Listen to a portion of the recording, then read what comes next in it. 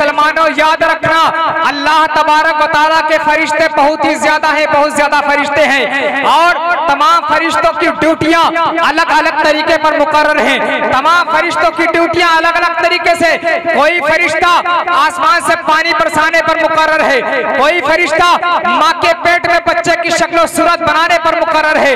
कोई कोई फरिश्ता तमाम और तमाम ड्यूटियाँ लगी हुई है। लेकिन मुसलमानों, अल्लाह तबारक वाली के कुछ फरिश्ते ऐसे हैं, जो रूए ज़मीन पर घूमते रहते हैं। और ये घूमते आप कहोगे, क्यों घूमते हैं? तो सुनो तवज्जो के साथ, ये तमाम अल्लाह के फरिश्ते घूमते पूरी रूए ज़मीन पर। क्यों घूमते हैं? ये घूमते रहते हैं और ये अपने तमाम बंदों को तलाश करते हैं। और ये अल्लाह के फरिश्ते घूमते घूमते कभी दिल्ली चले जाते हैं, कभी अमरोहा चले जाते हैं, कभी मुरादाबाद चले जाते हैं, कभी रामपुर चले जाते हैं, कभी शाहजहांपुर चले जाते हैं और कभी इस कहमैया में आ जाते हैं। वो अल्लाह के फरिश्ते जब घूमते घूमते पूरी दुनिया में घूमते हैं तो उनको कुछ बंदे ऐसे भी मिलते हैं जो बंदे शराब पी रहे होते हैं, कुछ बंदे ऐसे भी मिलते हैं जो जुआ खेल रहे होते हैं, उनको कुछ बंदे ऐसे भी मिलते हैं जो उलमा की शान में गुस्ताखियाँ कर रहे होते हैं, उनको कुछ बंदे ऐसे भी मिलते हैं जो उलमा की बुराई कर रहे होते हैं, लेकिन जब वो फरिश्ते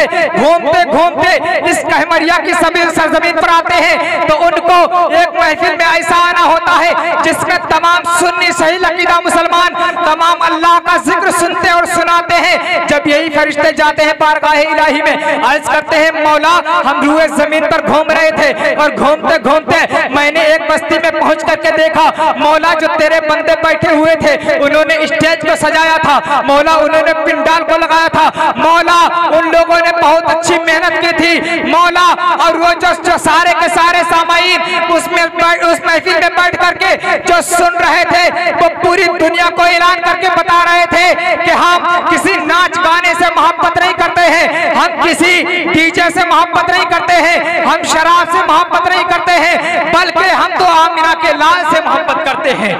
आमिना का लाल से, और देखिए, हम आप जिस मज़हब के मानने वाले हैं, उस मज़हब का पूरी दुनिया में चर्चा, पूरी दुनिया में चर्चा। सिर्फ़ एक मिनट के लिए आप सुन ले जहाँ पर बैठे हैं। पूरी दुनिया में चर्चा है। हम जिस मज़हब को मानते हैं, उस मज़हब का नाम है मज़हब इस्लाम। मज़हब इस्लाम से बेहतर इस पूरी दुनिया में कोई मज़हब नहीं। मज़हब इस्लाम से प्यारा। इस दुनिया में कोई मज़हब नहीं। क्यों? इसलिए मज़हब इस्लाम के मुतालिक कुरान करीम का अटल फैसला और ऐलान मुस्तकब है। इस्लाम। बेशक अल्लाह तबारक ताला के नज़दीक सबसे बेहतर दीन मज़हब इस्लाम है। क्यों? इसलिए जब मज़हब इस्लाम ना आया था, हर तरफ़ जुल्मों पर बनियत के पहाड़ ढाए जा रहे थे, गरीबों को सताया जा रहा था। लेकिन मुसलमानों, याद रखना, जब इस्लाम इस दुनिया पर आया है तो हर तरफ़ अमनो सलामती का अमनो सलामती का पैगाम देता हुआ आया। जब इस्लाम इस दुनिया के अंदर आया तो अमनो सलामती का पैगाम देता हुआ आया। जब इस्लाम इस दुनिया के अंदर आया तो तोहिद और रिसालत का कोहराम बर्पा करता हुआ आया। जब इस्लाम इस दुनिया के अंदर आया तो तमाम मुसलमानों को दहशत गर्दी से दूर करता हुआ आया। जब इस्लाम इस दुनिया के अंदर आया तो मुसलमानों को आतंकवादियत से दूर करता हुआ आया। और जब इस्लाम इस दुनिया के अंदर तो हैरतनाक कामयाबों को, कामयाबियों को अपनी गोद में लेकर के आया। पूरी दुनिया तमाशाई बनी देख रही थी। देखते ही देखते इस्लाम पूरी दुनिया पर छा गया। हर तरफ़ इस्लामी तहजीब तमद्दुन का बोलबाला हो गया। हर तरफ़ इस्लामी कल्चर का कोहरा पड़ना हो गया। जब पूरी दुनिया पर इस्लाम छा गया, जब पूरी दुनिया पर इस्लामी खलखला हुआ तो शैतानी लईन के पेट में दर्द होने लगा। उसने कदम चोला बदल की एक टीम तैयार की और इस्लाम के खिलाफ हंगामा आरैया शुरू कर दी। अब कुरान पर हमले होने लगे। मुस्लिम प्रसन्नला पर हमले होने लगे, इस्लामी तहजीब तमद्दुन पे हमले होने लगे, इस्लामी कल्चर पे हमले होने लगे, मुसलमानों की शान शौकत पे हमले होने लगे, औरतों की इज़्ज़त वकार पे हमले होने लगे, और कुछ नापाक लोगों ने दो कदम आगे बढ़ के सोचा कि पूरी दुनिया में सबसे तरक्की याफ्ता दिन मज़हब इस्लाम है। इसलिए पूरी दुनिया से मज़हब इस्लाम को मिटा दिया जाए, पूरी दुनिया से मज़हब इस्लाम को निस्त नाबूद कर दिया जाए। इसलिए तमाम मुस्लिम मुल्कों को मुल्कों पर हमला करो। हो सकता है मुसलमान कमज़ोर पड़ जाए, हो सकता है मुसलमानों की तादाद कम हो जाए। गोदरा बदाइयों में मुसलमान औरतों की इसमतदारी करो।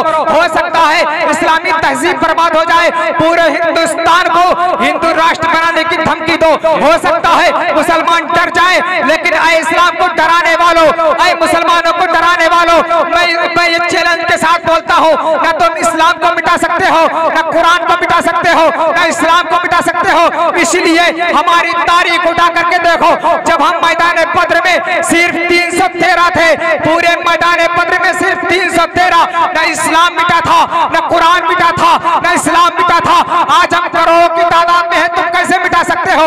नहीं मिटा सकते। इसलिए सहाबा का किरदार बोल रहा है मैं मुस्तहिदीन का इश्तिहार बोल रहा है, आला हज़रत का नज़रिया बोल रहा है, मीर अब्दुल वाहिद ग्रामी की खिदमत दीन बोल रही है, हुजूर हाफिज मिल्लत की तहरीक बोल रही है, हुजूर मुफ्ती आज़म हिंद का फतवा बोल रहा है, हुजूर ताजुल शरिया की रफ्तार बोल रही है, सरकार सईद मिल्लत की गुफ्तार बोल रही है, पूरी दुनिया इस्लाम का चप्पा चप्पा पुकार के कह रहा है, मगरिब की वादियों में गूंजी अजा हमारी थमता न था किसी से।